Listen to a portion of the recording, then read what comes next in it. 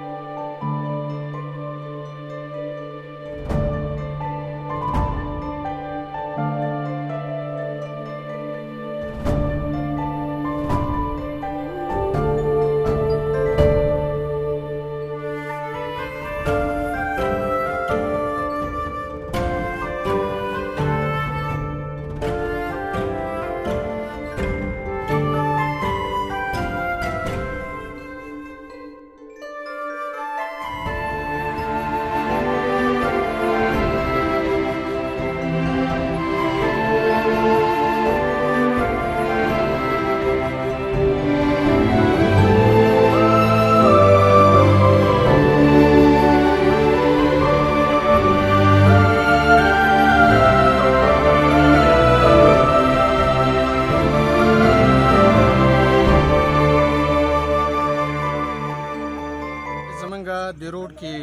لږه غونډه مسله وه او د هغې لپاره زمونږ د مشرانو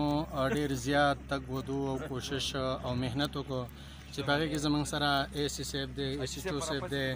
اجمل صاحب دی او دغه شانې زمونږ دا خپل سیپور کاکا دی د لیوار امزر ماما دی او نور چې څومره زما نه بعضې نومونه هېر دي د ټولو پکې شمولیت وکړو او زمونږ سره ډېر زیات تعاون وکړو لهذا دی مشکل ترین علاقې ته پراتلو معنی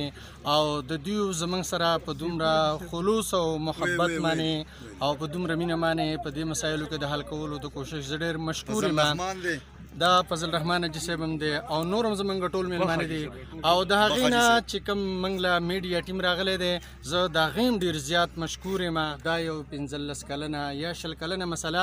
دی مشرانو او دی کلیوالو زمونږ د پاره خلق لا نو زه د دیو ډیر زیات مشکور یم الله تعالی د دیو د سعی د کوشش او د مهنت د ایمان په تل کې وغورځي دا څومره کار چې تاسو یې نه موږ سره منستران پاتې شوی دي موږ سره وزیران پاتې شوی دي موږ سره ناظمان پاتې شوی خو موږ باندې چا نظر نه دی غورځولې دا موږ په خپل پیسو باندې کو زر زر روپې کور تاسو په خوده باندې نور موږ سره بجلی نشته د سکول نشته په خدای یقین وکړه په 1900 په کم چې پاکستان د کوم وخت نه جوړ شوی 73 سال وشو خو ګوره په 73 سال کې چا زمونږ ته پوس نه کړي نو زه ستاسو د دې راتلو دا څومره چې موږ سره کیږي والله لازم دا ګوره د جهالت د وجې نه کیږي ځکه محترمو چې د سرلړې د سرنواله د درنګاله پورې زمونږ سر صرف یو د دامتل سکول دی نو یو د دامتور سکول ته تاسو سوچو کې مونږ باغې لسته بچي ولېږو په مال دي کتابونه راکړو والله زه لس ورځې نه زما نو زما بچي به سلال شي نو دیو جنا مونږ کې جهالت لګ ډیر دی زمونږ سره بجلی نشتا سکول نشتا تعلیم نشتا خو بس چې څه کیږي تاسو د مشرانو په مهنت باندې او مونږه د یشي صاحب شو صاحب د ټول چې دلته څوک افسران شوم راغلي دي د ټولو حکماو قدر کوو د هغوی عزت کوو او د دې نه علاوه مونږ د نښان باندې لیکلي د عوامو او د نهان باندې د خونګور مرګ هم د دې کلي سره دی موږ د دې ټولو شکریا ادا کوو ځکه چې په دې وخت کې چا به څه ویلي چا به څه ویلي خو په غیر څه شرط او په غیر څه خیر بیا دې هغه ځای کې هغه کله اور کې کله چاپ کې څه وشو کله چاپ کې څه وشو نو په دې وجه باندې موږ لکه چې سرکار خلک دلته راغی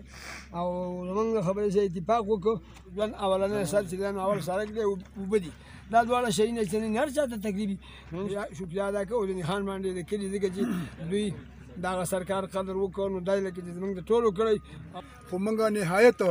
د د نښان باندې درونو انتهایی مشکور یو چې دا غوی په منځ کې دا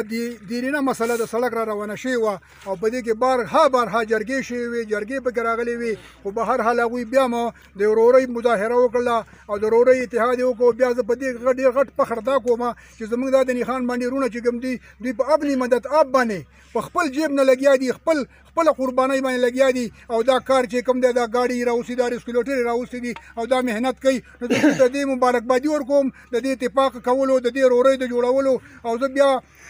خصوصا نن چې زموږ اسسټنټ کمشنر صاحب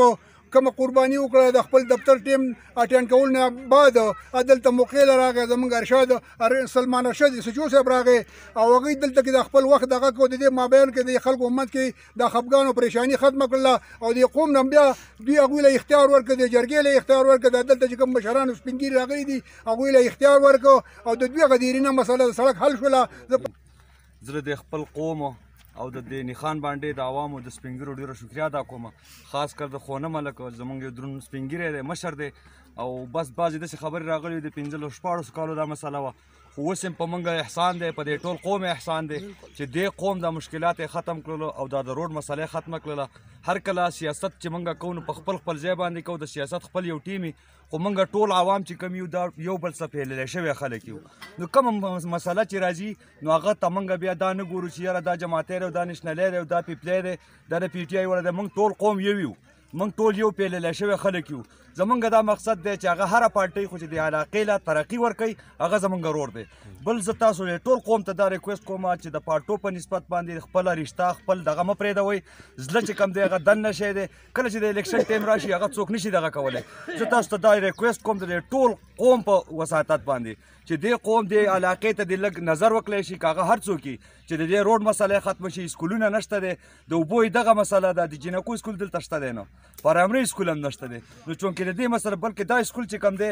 دا د ولا میډل کی زه دا ریکوست د حکومت ته کوم په دا وخت چې کم اقتدار پارټي ده ته کوم چې دا سکول چې کوم دی دا خو له میډل کې چې د علاقې ته یو یو دغه راشي یو پوره من یو یو ماحول یو تعلیمي نظام برابر شي او مشترکه د ټول قوم زه شکریا ادا کوم مشترکه یو دوا کو چې رب العالمین زموږ په دې ملک کې امن راولي